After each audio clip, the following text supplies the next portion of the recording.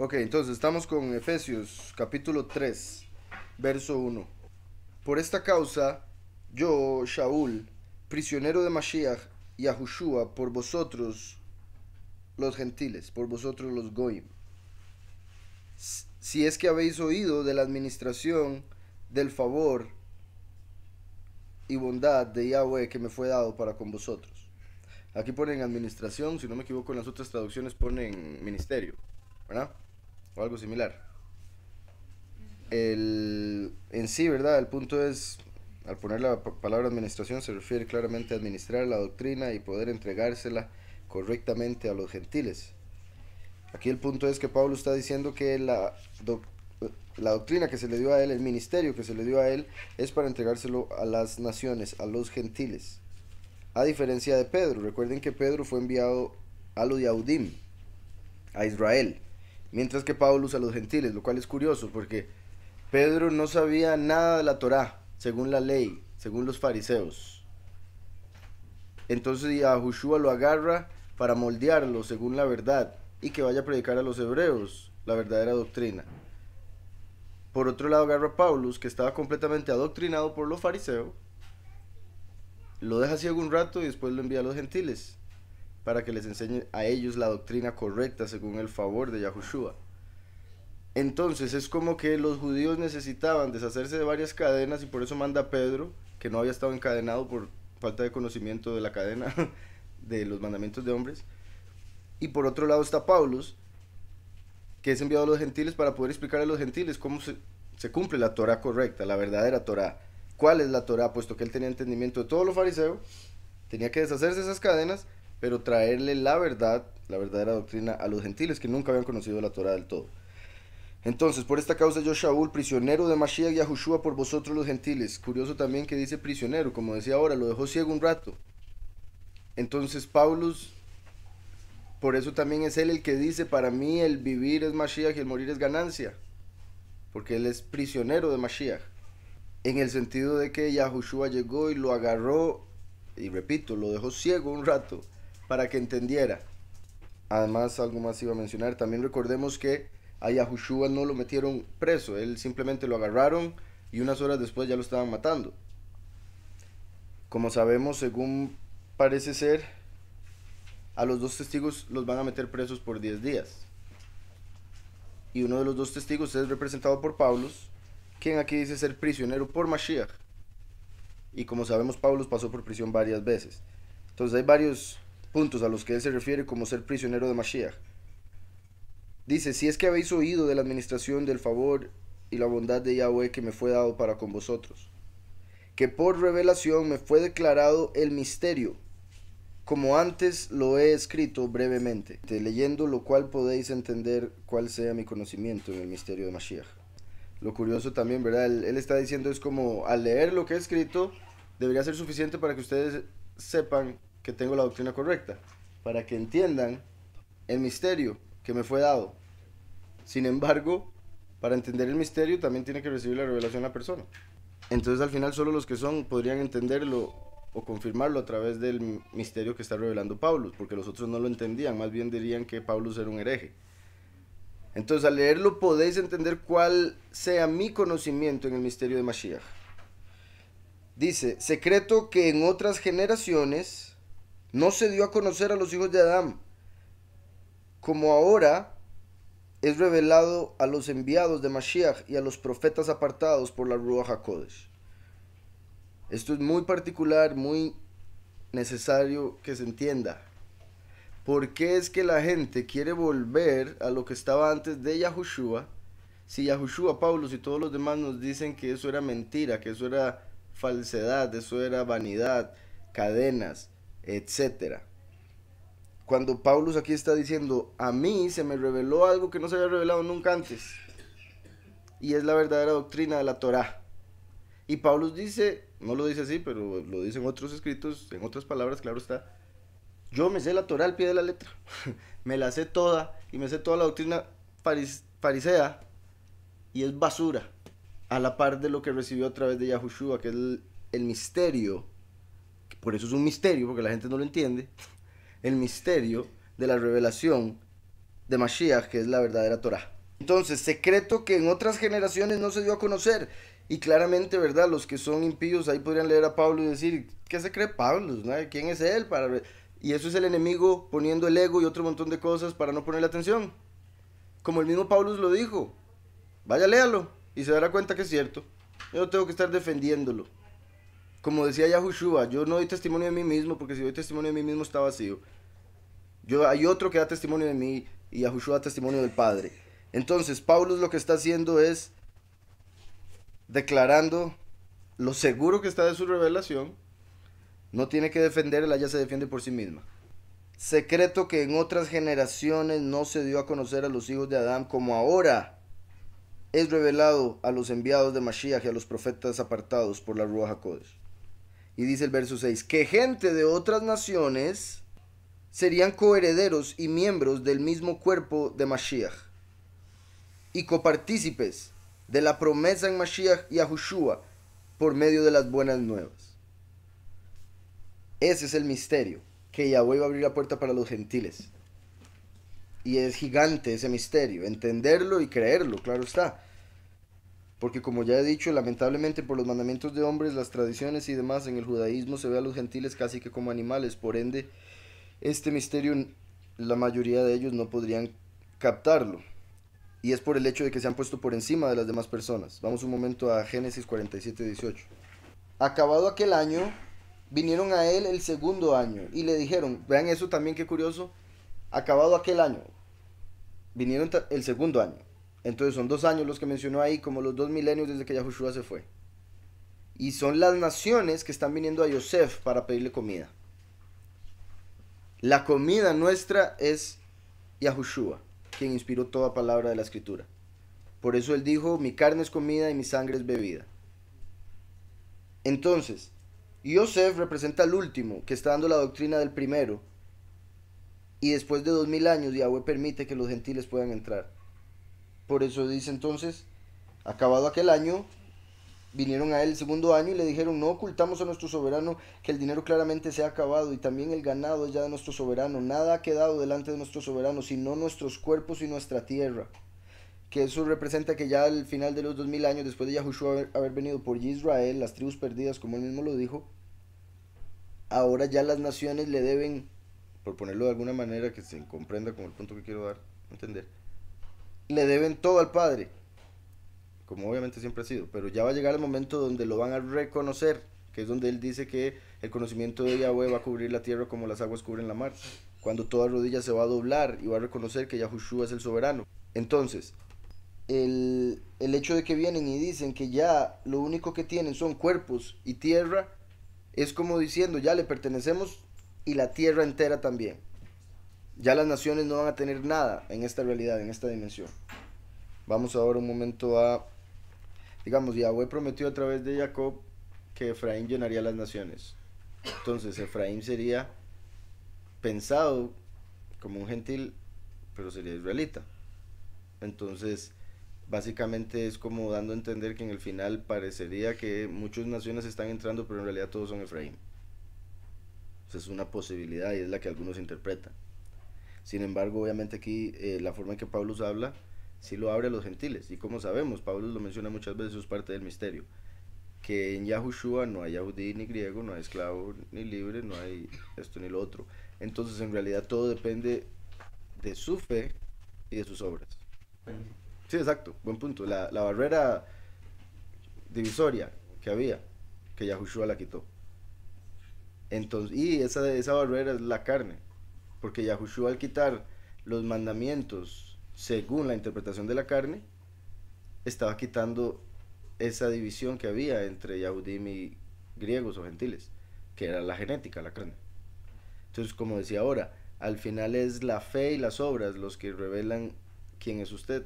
Entonces, su genética puede ser de Cam, que si usted actúa como Yahushua, usted es uno con Yahushua, porque por sus frutos los conoceréis, no dice por el ADN físico, ¿verdad? Porque ya hemos hablado del espiritual. Exacto, en nosotros injertados en él, exacto. Iba a leer Isaías 53, 11, ¿verdad?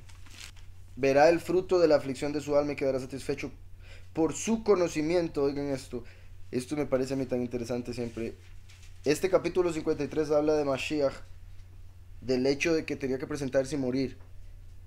Y a través del capítulo muestra la primera y la segunda venida, muriendo como cordero y después como oveja, por ejemplo, como lo muestra en el verso 7. Pero aquí en este dice, verá el fruto de la aflicción de su alma y quedará satisfecho, como por ejemplo ambos, primero y último, después de que todo se cumpla van a ver la razón por la que murieron y sufrieron lo que sufrieron y se van a alegrar. Entonces imagínense, lo que sufrió Yahushua, pero se va a alegrar de haber sufrido. Me fijo, ya lo está. Pero todavía más cuando vea a todos los escogidos con él. Después lo, lo que viene es lo que me refería. Por su conocimiento justificará mi siervo justo a muchos y llevará sobre sí las iniquidades de ellos. Entonces, el hecho de que dice por su conocimiento justificará, esto es algo que yo creo que algunas personas le tienen un poco de temor entenderlo. Es una de las razones también por las que se ha errado, algunas personas han errado y han creado la doctrina del gnosticismo. Los que siguen el Gnosis, porque piensan que es el conocimiento el que salva. Y es por malinterpretar versos como estos, pero también quiero dejar claro que hay gente que por esas doctrinas falsas le tienen miedo a la realidad de lo que este verso dice. Porque el conocimiento de la verdadera doctrina, claro que justifica. El conocimiento del nombre del Hijo salva. Entonces el conocimiento sí justifica y salva pero es el conocimiento correcto, el conocimiento del camino. Es como si usted sabe la dirección, llega. Conocimiento lo salvó de perderse. ¿Sí me explico? Pero hay gente que lo ve como, no, no, Yahushua lo que quería decir era, no lo vean a él, nada más aprendan cosas, aprendan cosas, aprendan cosas, así se van a salvar. ¿Aprenda qué? ¿De dónde? ¿Con qué base? Etcétera, etcétera. Porque lamentablemente los que agarran también esos libros gnósticos, la mayoría lo hace apartados de la escritura y se vino todo abajo. Entonces, Yahushua vino y claramente él dio la verdad.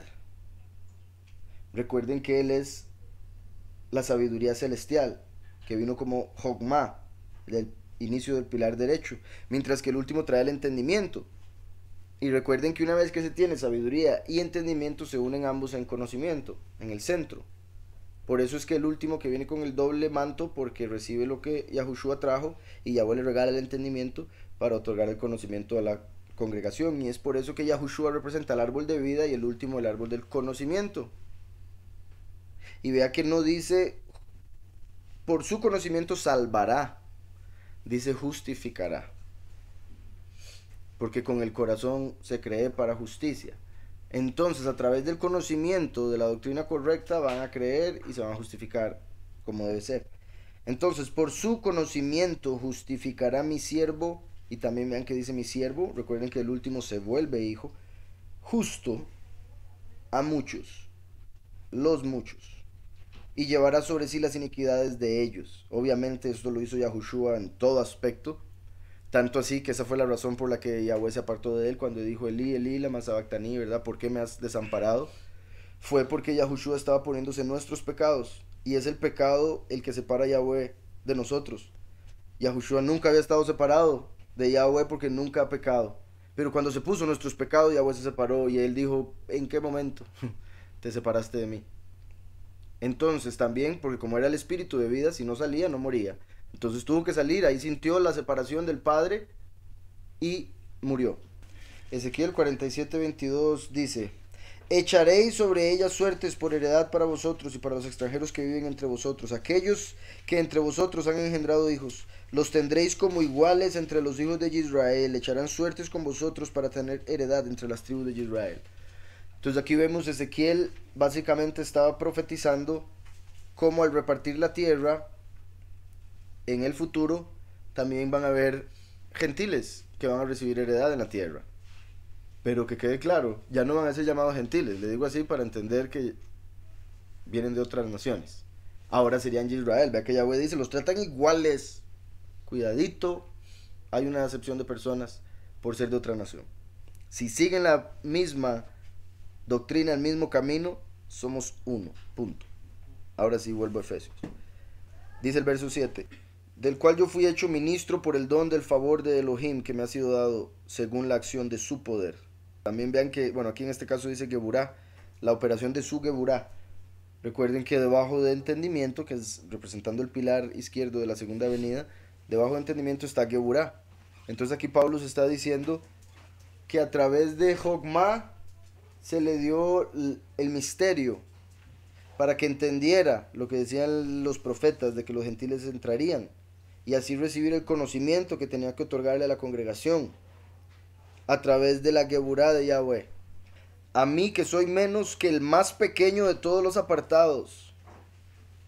Recuerden que curiosamente Paulus quiere decir pequeño. A mí que soy menos que el más pequeño de todos los apartados, me fue dado este favor de Yahweh de anunciar entre las naciones las buenas nuevas de las inescrutables riquezas de Mashiach. Vamos un momento a Isaías 45. Recuerdan que hemos hablado, digamos, en el judaísmo se enseña que hubo un tesoro gigante que se escondió en tres partes y que una parte la encontró Korah y por eso se hizo el hombre más rico del mundo en ese momento y se lo tragó la tierra con todas sus riquezas cuando se reveló.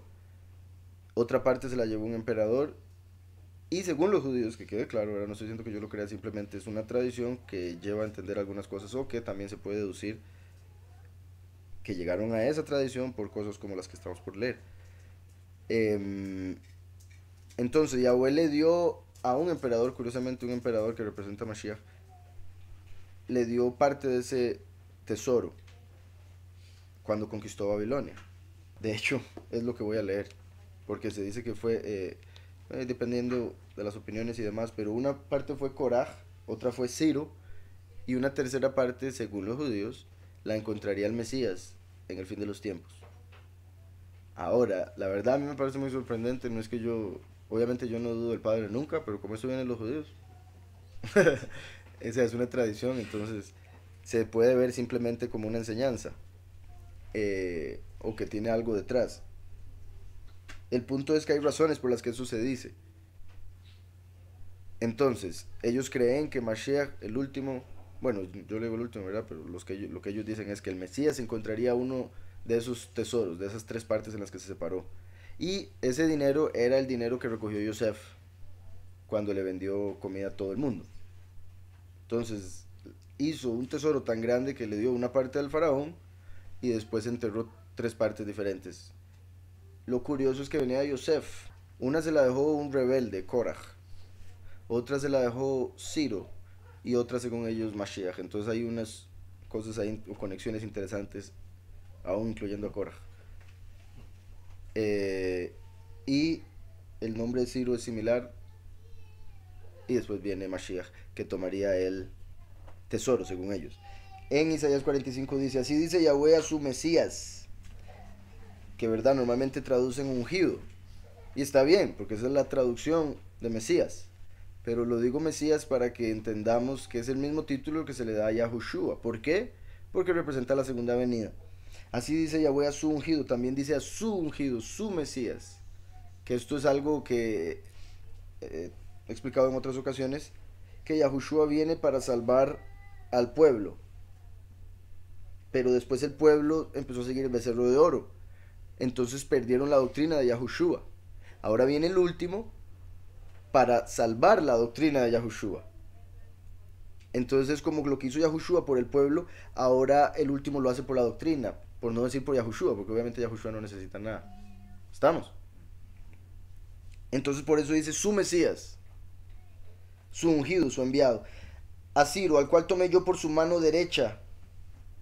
Yahushua está a la derecha del Padre si Ciro está la si Ciro está sostenido por su mano derecha, quiere decir que está a la izquierda. Entonces ahí entendemos la segunda venida va a estar a la izquierda, así como Yahushua la primera venida está a la derecha. Para sujetar naciones delante de él y desatar lomos de reyes, o sea, viene como rey, el Melech Gadol, Yahushua vino como Cohen Gadol. Para abrir puertas delante de él, puertas que no se cerrarán. Yo iré delante de ti y enderezaré los lugares torcidos, quebrantaré puertas de bronce y haré pedazos rojos de hierro, lo griego y lo romano dice, este es el verso que quería llegar, el 3, te daré los tesoros escondidos. Entonces de ahí es donde dicen que Yahweh había profetizado que Ciro se iba a encontrar un tesoro gigante. y fue cuando corrió el caudal del Éufrates para entrar y conquistar Babilonia. Y los secretos muy guardados. En lo que respecta a Mashiach se refiere a tesoros espirituales, ¿verdad? Porque la sabiduría y el conocimiento es más valiosa que el oro y la plata. Entonces el último va a recibir ese tesoro pero espiritual. Ahora, yo sé, está escrito que Yahweh es el que enriquece y Yahweh es el que empobrece. Así que si Yahweh quiere enriquecer al último, él puede hacerlo sin problema. ¿verdad? Lo único es que cuesta un poco con el mundo en el que vivimos hoy en día entender porque el dinero está completamente controlado. Entonces es un poco difícil de creerlo en la carne, pero obviamente si Yahweh quisiera hacerlo, él puede hacerlo. El punto es que en lo espiritual, obviamente, la riqueza física no es necesaria. Entonces, pase o no pase, no importa. Lo que quiero es que tengan claro o tengan en la mente la posibilidad de que pase más bien el 52.13 dice, He aquí mi siervo será prosperado, será engrandecido y exaltado. Repito, esa prosperidad es principalmente espiritual, pero puede ser también con ese tesoro, o quizá no con el tesoro mismo que está enterrado y abuelo multiplique de alguna manera. Mi siervo será prosperado, será engrandecido y exaltado, será puesto muy en alto, como se asombraron de ti muchos pues de tal manera estaba desfigurada su apariencia. Entonces Yahweh dice, así como se asombraron cuando lo vieron golpeado, guindado del madero, porque ni se veía como un humano, así se van a asombrar de lo alto que va a llegar el último. Ahora también la pregunta sería, ¿Yahweh se refiere a antes de que muera o después de que resucite? Después de que resucite, pues es obvio. Por eso la posibilidad es que haga algo mientras está en el mundo antes de morir. ¿Está claro? Entonces, vuelvo a Efesios. Dice, a mí que soy menos que el más pequeño de todos los apartados. Me fue dado este favor de Yahweh de anunciar entre las naciones las buenas nuevas de las inescrutables riquezas de Mashiach. Las riquezas de Mashiach, ese tesoro escondido. Pablo dice, me lo dieron a mí, porque Pablo representa al último. ¿Y cuál es ese tesoro? La doctrina correcta. Para poder darle de comer a todas las naciones. ¿Como quién? Como Yosef en Génesis. Dice, y de aclarar, qué poderoso, de aclarar, qué bendición poder aclarar algo, lo que sea. Uno necesita aclaración cuando está confundido. Y cuando uno está confundido es por el espíritu de Babel, de confusión, Babilonia, la gran ramera, y en lo espiritual principalmente, obviamente. Entonces, Pablo se le da la bendición de aclarar todo lo que ha oscurecido la falsedad de la doctrina errada la doctrina de la gran ramera. Paulus lo aclara. Estaba viendo un par de videillos ahí hablando de los Grammys. Yo llevo años de... O sea, cuando empecé a estudiar todo el Illuminati y todo, yo trataba de ver esas cosas, esos eventos, como para ver qué rituales hacían. Pero llegó un punto donde me aburrí porque no soporto esos eventos. Entonces llevo rato no ver ninguno de esos pero vi como que empezaron a hablar mucho de los Grammys. Al parecer fue un ritual bastante grande. Adorando a la reina del cielo, la gran ramera. Muy curioso, todos los colores que usaron, los vestidos que usaban las mujeres, era para darle honor a esta falsa diosa, esa diosa, eh, falsa poderosa. Y como hemos venido hablando, ¿verdad? El Padre ha estado poniendo mucho cómo en este tiempo final ese es el espíritu que se está manifestando, como Em, es el que tiene que caer en el final de los tiempos. También me parece curioso una conexión que el padre me mostró unos días atrás. ¿Se acuerdan que a Jezabel, que representa la gran ramera encarnada, Jezabel se le prometió que se le iban a comer los perros? Y así fue porque se cayó del, del balcón, cayó toda quebrada, llegaron los perros y se comieron parte de, ella. Bueno, dejaron ahí los huesos y tomaron la sangre y todo. Y es curioso que en la escritura vemos en Apocalipsis que la gran ramera después de que se presenta el falso Mesías, la bestia va a devorar sus carnes. Entonces, así como Jezabel fue comida por bestias, perros, incrédulos, sodomitas, que es lo que representa el perro en lo negativo, ahora la gran ramera, una vez que presenta al falso Mesías, según ella, para poder coronarse como reina de la tierra y del cielo, más bien va a ser que la bestia que le odia se la coma, como un perro incrédulo y sodomita, que es la bestia falso profeta, el líder religioso. ¿Estamos? Entonces, muy curioso esa relación, como Yahweh muestra físicamente lo que va a pasar con el espíritu de la gran ramera. Aquí estamos viendo que eh, él viene a aclarar. Y es curioso también, es interesante. O sea, hace dos mil años Paulus tenía que aclarar cosas. Imagínense hoy en día. Entonces, hace dos mil años ya se hablaba de que estaba la apostasía y que Paulus tenía que ir a aclarar todo.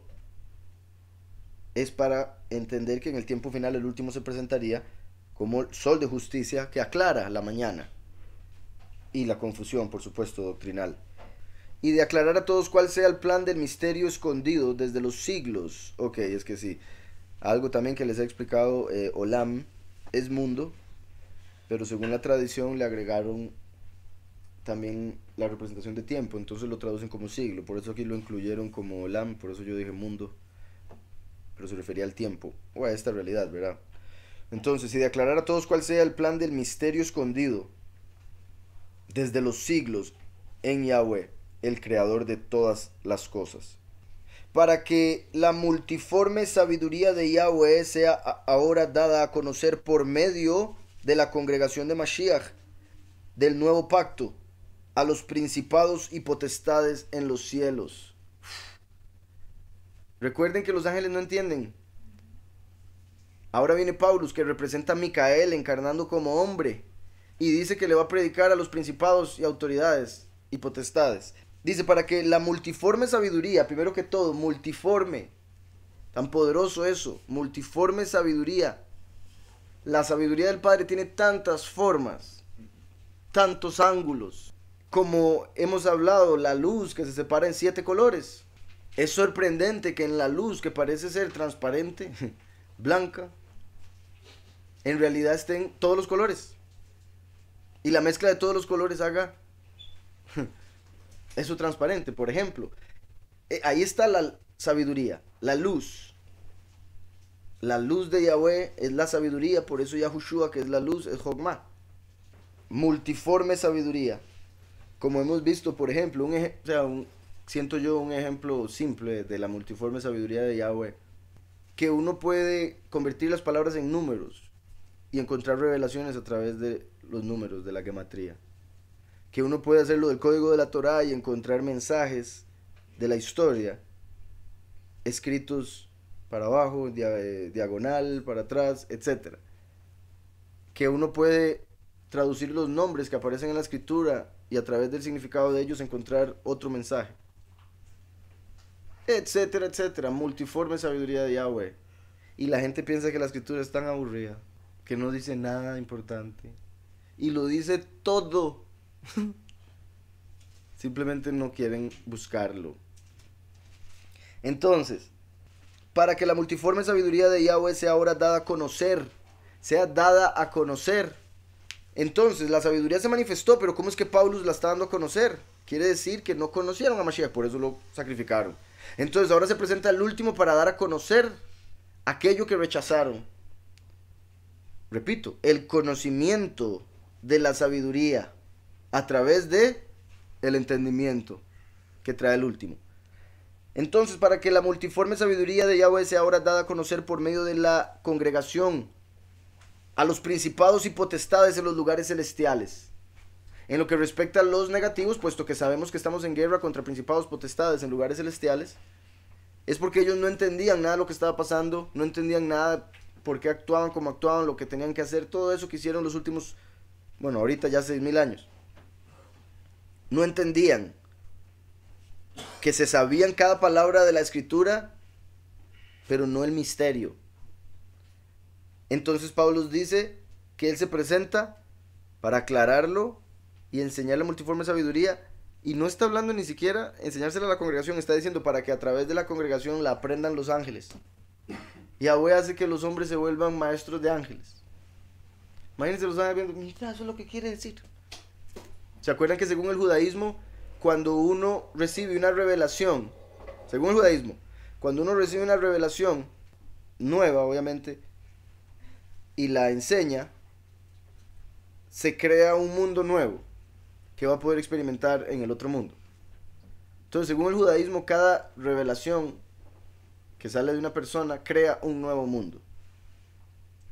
Entonces, imagínense qué poderoso, puesto que si los ángeles están viendo, bueno, por verlo así, para abajo, aprendiendo, recibiendo revelación a través de los hombres, puede ser que sea en cierta forma para llevar a cabo o crear todos esos mundos de los que se hablan.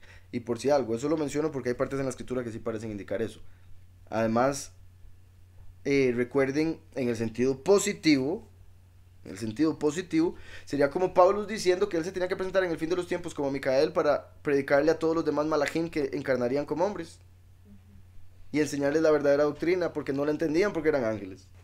Recuerden que los animales fueron hechos imagen y semejanza de los ángeles, los hombres fuimos hechos imagen y semejanza del Padre. Por eso es que los ángeles no entienden lo que el hombre tiene la capacidad de entender, aunque esté en un nivel más bajo que los ángeles.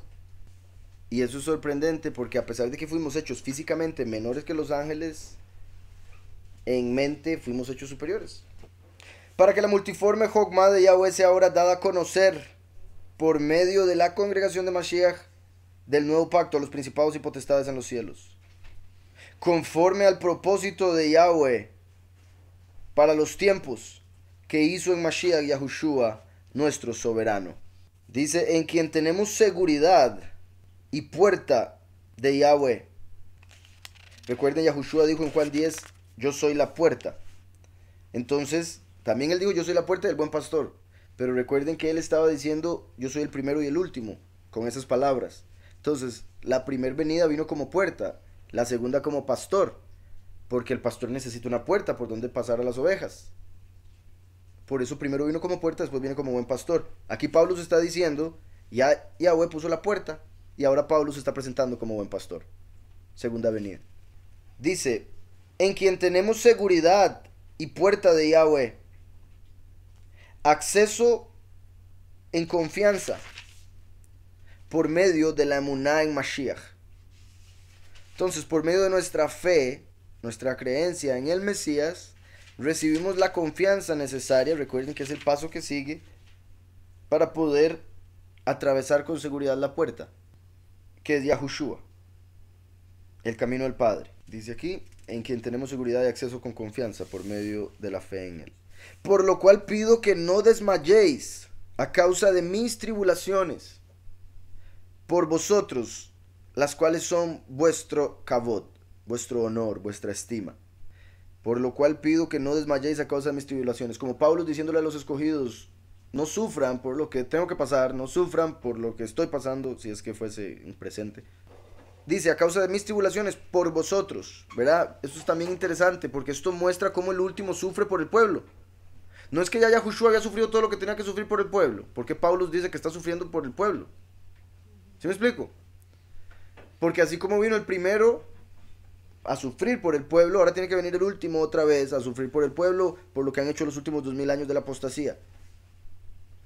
Como Moshe sufrió por el pueblo y no entró a la tierra prometida después de 40 años, como los 40 jubileos.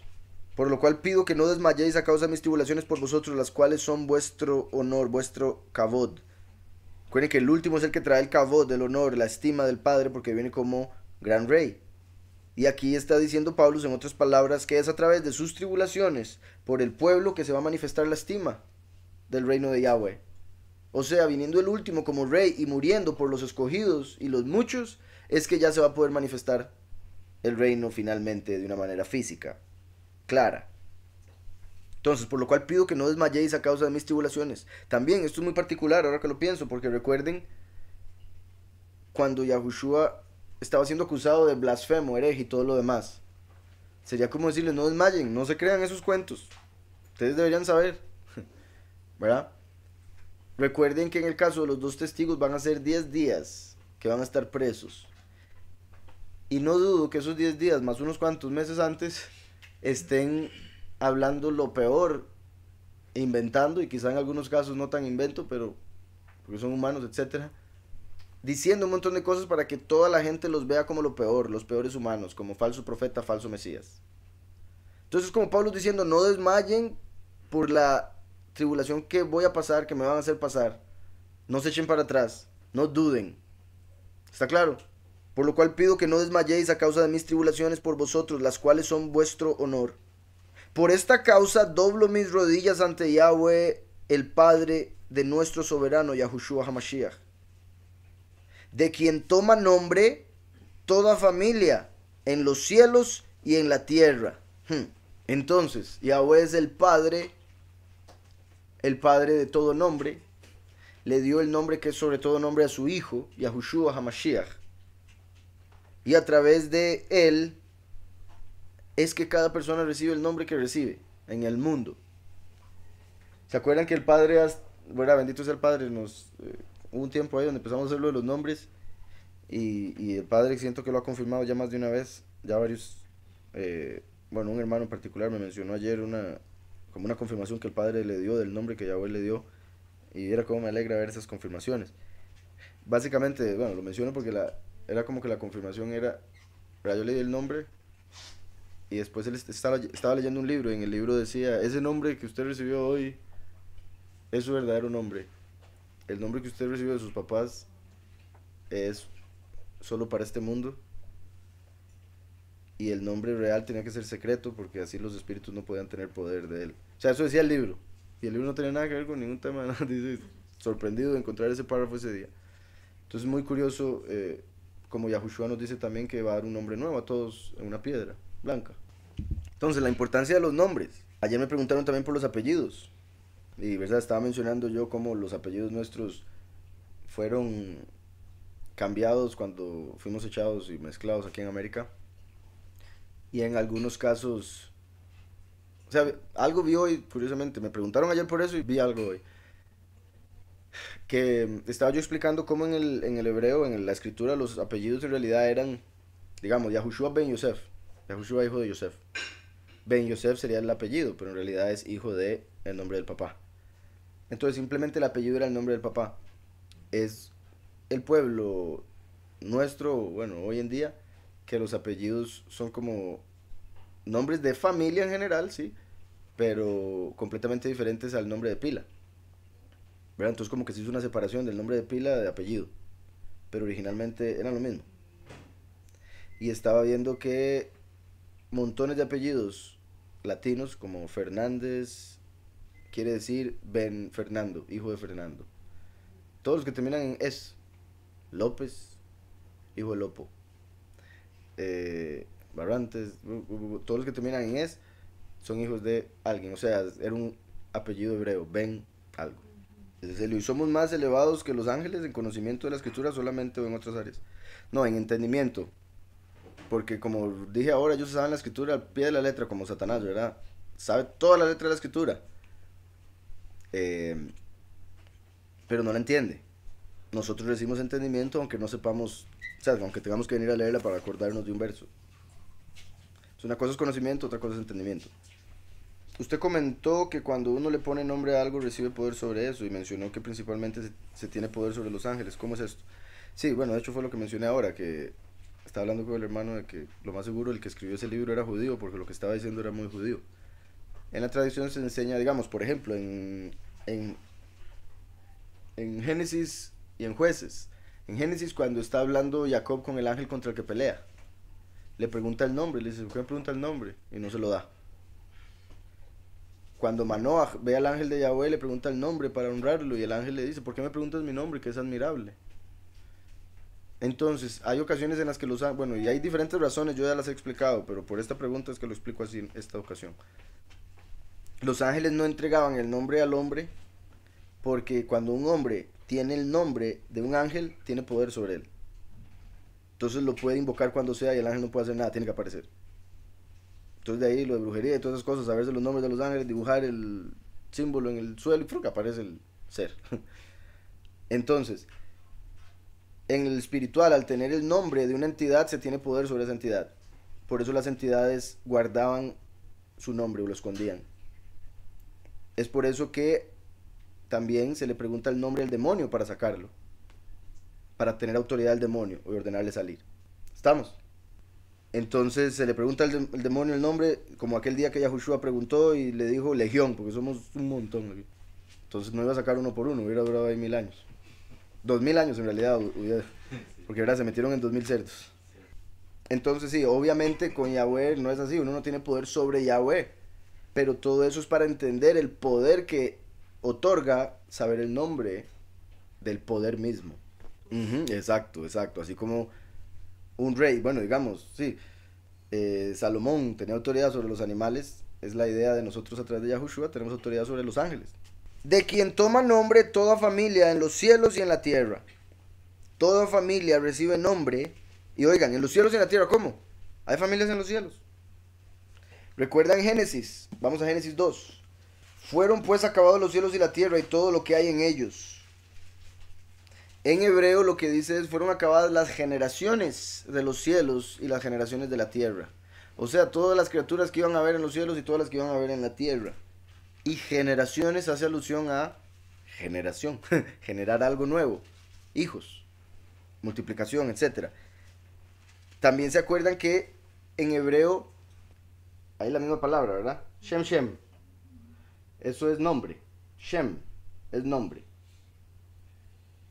Ese de arriba es Shemot, que quiere decir nombres. Este de abajo es Shamaim, que quiere decir cielos.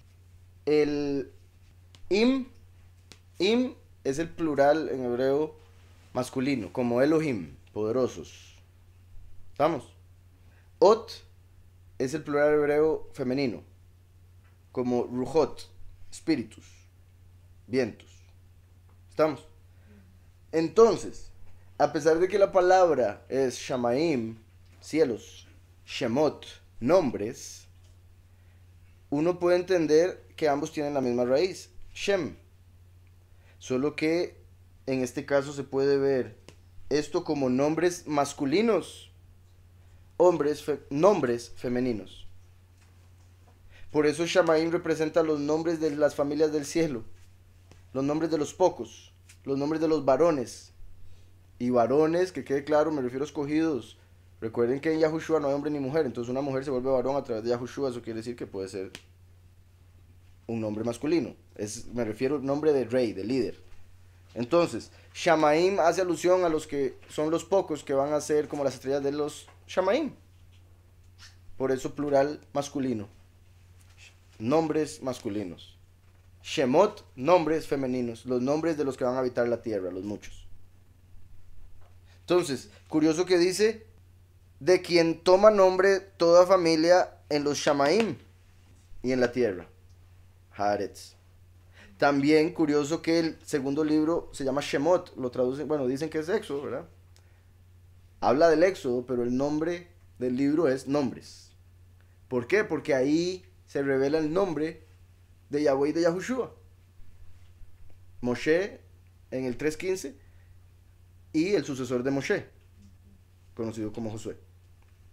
Entonces, como en el libro de Éxodo se revela el nombre del Padre y del Hijo, el libro se llama Nombres. Y también revela los nombres de Jacob cuando entró a Egipto. ¿Estamos? pero se podría ver que Shemot, el libro Éxodo, se refiere a esta realidad. Y el próximo Éxodo es el que vamos a ser llevados a los Shamaim. Entonces el próximo Éxodo sería como ponerle al libro Shamaim en vez de Shemot.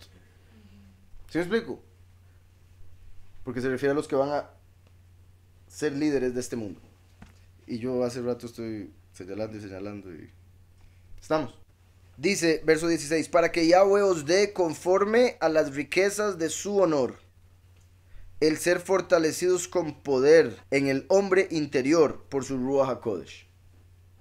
En el hombre interior, ¿verdad? No en la carne, sino en el alma. Ser fortalecidos verdaderamente. ¿De qué sirve, verdad? Tener un montón de músculos. Si por un lado tiene que pasar todos los días y todo el día en el gimnasio para mantenerlos y por más que haga eso, después de unos 15, 20 años los va a perder porque los va a perder. ¿Qué se compara eso con la fortaleza espiritual de poder pasar pruebas, de poder pasar tribulación y después levantarse por los aires en el reino de Yahweh, en el sentido obviamente espiritual, celestial? Entonces, para que Yahweh os dé conforme a las riquezas de su honor al ser fortalecidos con poder en el hombre interior por su Ruach HaKodesh. Recuerden que los griegos tenían como templos los gimnasios, porque ellos se querían fortalecer en el hombre exterior. Adoraban el cuerpo, la carne. igual que la sociedad de hoy en día. Entonces Pablo enseña a los gentiles que tenían el entendimiento de adorar el cuerpo y fortalecerse en el exterior, en un gimnasio, templo griego. Pablo les dice, no, fortalezcanse en el espíritu, en el alma, que es mucho más importante, porque ese es eterno. Entonces algunos van a entrar al reino así, y otros van a entrar flaquititicos. Entonces, verá por su Ruach Kodesh. Ahí está también. Por el, la Ruach. Dice el verso 17, para que Mashiach haga su habitación por la emuná en vuestros corazones, a fin de que arraigados y cimentados en amor, seáis plenamente capaces de comprender con todos los apartados cuál sea la anchura, la longitud, la profundidad y la altura. Dice Apocalipsis 3, verso 20. Yo estoy a la puerta y llamo. Si alguno oye mi voz y abre la puerta, entraré a él y cenaré con él y él conmigo. Por eso Pablo dice aquí, para que Mashiach haga su habitación por la fe en vuestros corazones, que haga su habitación en nuestros corazones, que entre y habite en nuestro corazón. Porque Él está tocando. Es cuestión de abrirle. La puerta es el corazón, por eso por ahí pasa la sangre, siendo la sangre la vida y la sangre de Mashiach tiene que estar en nosotros para recibir la vida eterna, etcétera, etcétera. Entonces, el corazón es la puerta, por eso también el enemigo trata de entrar a través del corazón y el corazón por eso es engañoso sobre todas las cosas. Por eso en Génesis vemos cuando Yahweh le habla a Caín que el pecado está a la puerta acechando. Pero con todo Yahweh nos da la fuerza para vencerlo. Entonces el pecado está acechando. La persona le abre un poquitito y se mete. Y Yahushua no hace eso. Yahushua es un caballero, él toca. Si usted quiere, él entra y le arregla la vida. Pero si usted no quiere, siga en problemas y siga todo lo demás. Como está escrito en Jeremías, el corazón es engañoso sobre todas las cosas. Es por eso que necesitamos llenarlo de Yahushua, que es la verdad, para que ya no nos engañe. Ahora, una forma también de que no engañe siempre atándolo al intelecto, siendo ese intelecto Yahushua, trayendo todo pensamiento a obediencia de Mashiach. Estamos, y también por eso Yahweh nos prometió que nos daría un corazón nuevo. Entonces, ¿verdad? Aquí es que va a entrar al corazón y habitar con uno, ser uno, con uno, como cuando tomamos el vino, representación de su sangre, para recibir la vida, que es Él. Verso 17. Dice, que habite Mashiach por la fe en vuestros corazones, a fin de que arraigados y cimentados en amor, arraigados y cimentados en amor, arraigados porque Yahushua es la raíz, siempre debemos estar arraigados, si no nos morimos en todo aspecto. Y cimentados en amor, Yahweh es amor. Entonces, cimentados en Yahweh, arraigados en Yahushua. Arraigados porque Yahushua es la raíz, Yahweh es amor, por ende cimentados en amor. Todo lo que hagamos tiene que tener como base el amor. Si no tiene como base el amor, para nada lo está haciendo. Y todo mandamiento, o sea, el cumplimiento de cada mandamiento tiene que ser basado en el amor. Cualquier mandamiento que no tenga nada que ver con el amor, en realidad es un mandamiento de hombre, de carne, interpretación incorrecta. Porque el cumplimiento de la Torah es el amor. Dice entonces, a fin de que arraigados y cimentados en amor, seáis plenamente capaces de comprender con todos los apartados cuál sea su anchura como Atzilut, la longitud como Beria, creación, la profundidad como Yetzirah y la altura como Asiyah. De hecho, solo por lo que representa cada uno, altura sería Atzilut, profundidad Beria longitud Yetzirah y anchura hacia Los cuatro niveles de creación. También como sabemos anchura, longitud, profundidad y altura son las cuatro dimensiones. Y bueno, se pueden ver como las tres dimensiones en realidad porque es anchura, derecha, izquierda, eh, largo, adelante y atrás, altura y profundidad, arriba y abajo, o sea, las tres dimensiones. La dimensión en la que estamos. Ahora, Pablo está utilizando esta analogía para darnos a entender la bendición que va a ser el poder comprender toda la dimensión de la verdad, Mashiach, que podamos comprender su anchura, su altura, su profundidad, su largo. también como las cuatro letras del nombre Yahweh. Dice, y de conocer el amor de Mashiach, que excede a todo conocimiento. Vean eso. El amor de Mashiach excede todo conocimiento. Entonces, ¿de qué sirve conocerlo todo si no se tiene amor? De nada. El amor de Mashiach que excede todo conocimiento para que seáis llenos de toda la plenitud de Yahweh. O sea, la única forma de ser lleno de la plenitud de Yahweh es con amor. Si usted no tiene amor, está vacío. Y recuerden que hay dos tipos de amor. Uno terrenal y otro celestial. Y el terrenal es animal, no es amor. Es una ilusión de amor, parece. Es capricho, deseo, otras cosas. Sí, que va a ser más el amor que el conocimiento. Y también es importante que la única forma de recibir el conocimiento sería teniendo el amor. Y de conocer el amor de Mashiach. Para conocer el amor hay que tener conocimiento. Pero el amor está por encima de ese conocimiento. Ajá. Se necesitan ambos, exacto. Amor y conocimiento. Pero sin amor, conocimiento de nada sirve. Pero el conocimiento es para llegar a conocer el amor. De eso se trata. Yahweh es amor. Y Yahushua es el camino al Padre, o sea, el conocimiento del Padre. ¿Estamos? Entonces, el Padre, el Hijo nos lleva al Padre y ese es el punto, llegar al amor. Pero hay mucha gente que se quiere quedar en el conocimiento y nunca conocen el amor y al final el que conocen es a otro. Porque si no tienen amor, están con otro. Todo va de la mano. Entonces, Yahushua nos da el conocimiento del Padre y el Padre nos da el amor. Entonces, seáis plenamente capaces de comprender con todos los apartados cuál sea la anchura, la longitud, la profundidad y la altura. Y de conocer el amor de Mashiach que exceda todo conocimiento para que seáis llenos de toda la plenitud de Yahweh. Y es que, sí, muy particular también, digamos, anchura, longitud, que es parte de lo que hablaba ahora, como las diferentes formas de interpretar la escritura. Porque vea que son cuatro como Pardes, Peshat, Remes, Derash y Sod. Y así se puede llegar a comprender toda la interpretación de la escritura. Entonces, un tipo de interpretación para ver cuál es el ancho, otro tipo de interpretación para ver cuál es el largo, otro tipo de interpretación para ver cuál es la altura y otro para ver cuál es la profundidad. Y no solo eso, eso nos muestra también lo que representa medir.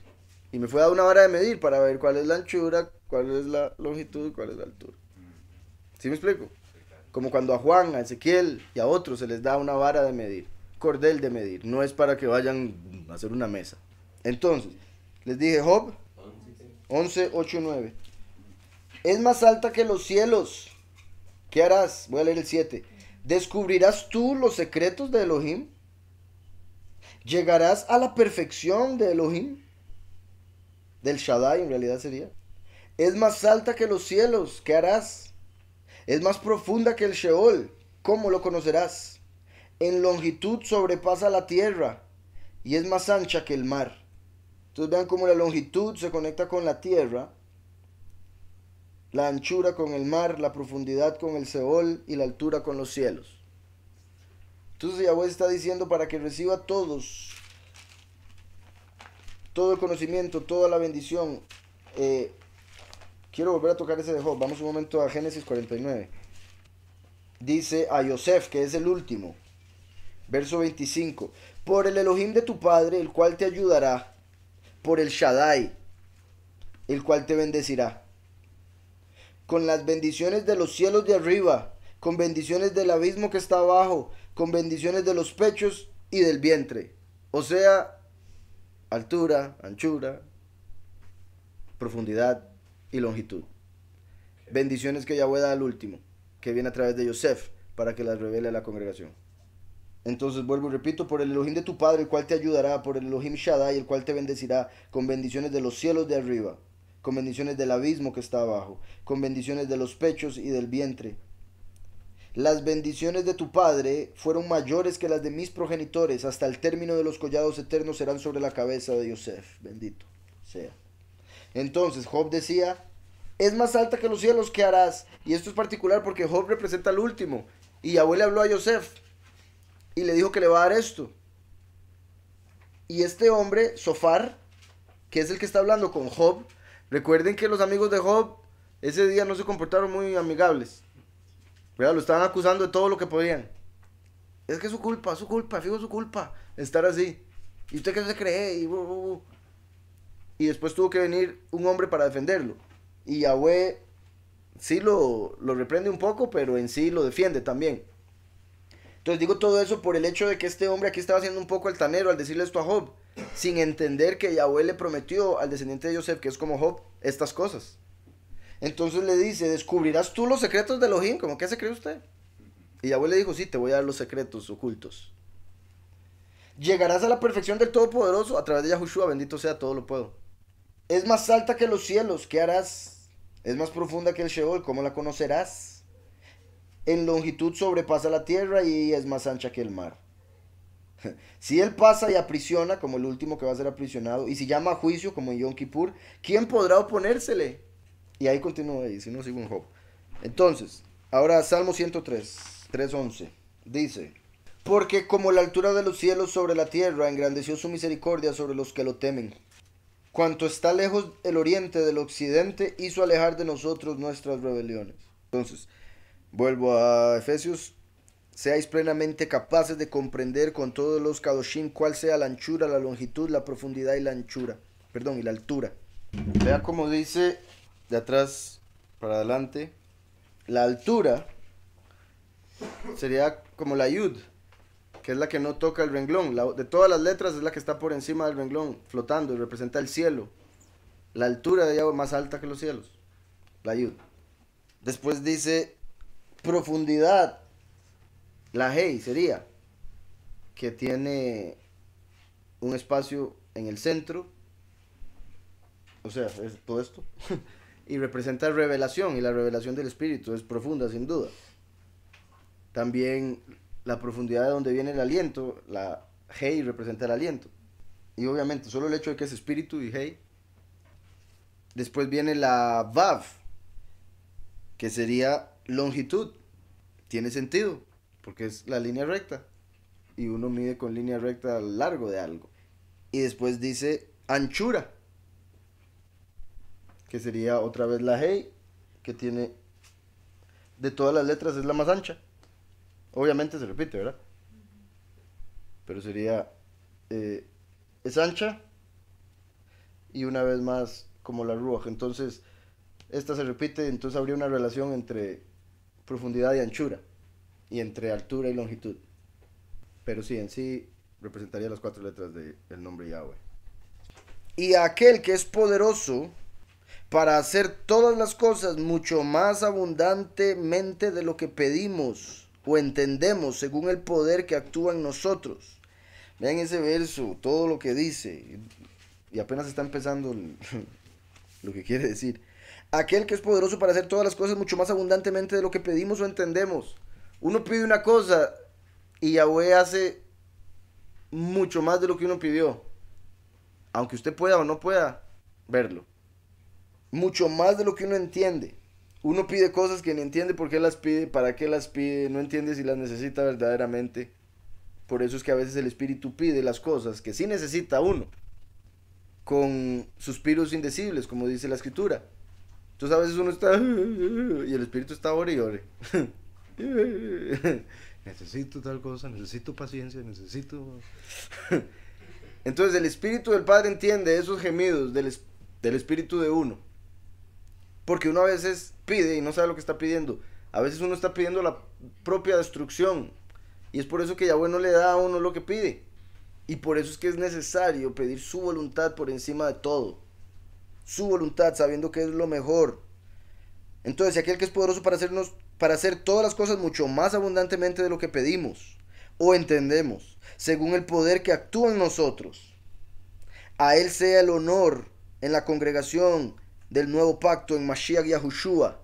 Entonces, a él sea el honor en la congregación del nuevo pacto en Mashiach Yahushua por todas las generaciones, por todos los siglos.